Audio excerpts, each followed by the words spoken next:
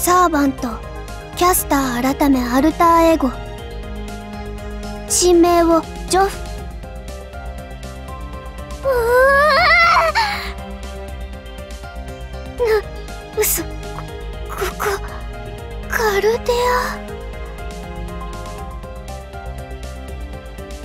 ア。なんだよもうなんか恨みでもあんのかよ。あ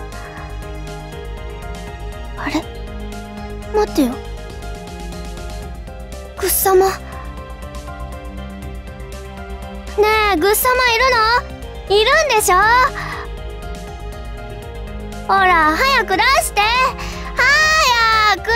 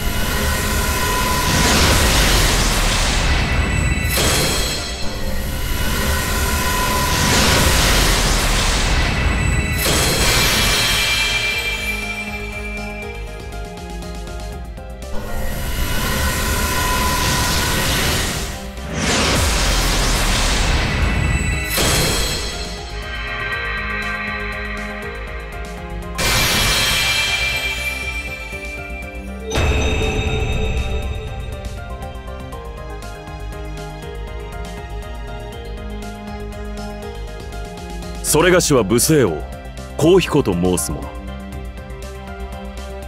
貴君を主として報じるべく参上をつかまつった。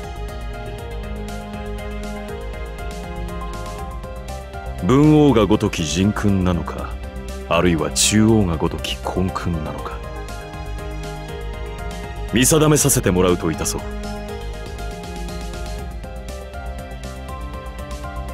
サーバントコエンシャク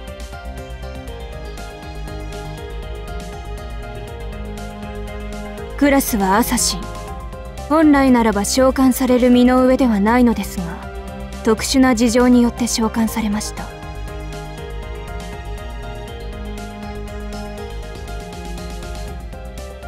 とある厳霊との融合により女性として召喚されていますが戦闘能力は劣化していませんのでお気になさらず。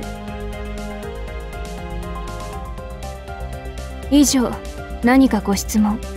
あるいはお褒めの言葉などありますでしょうか？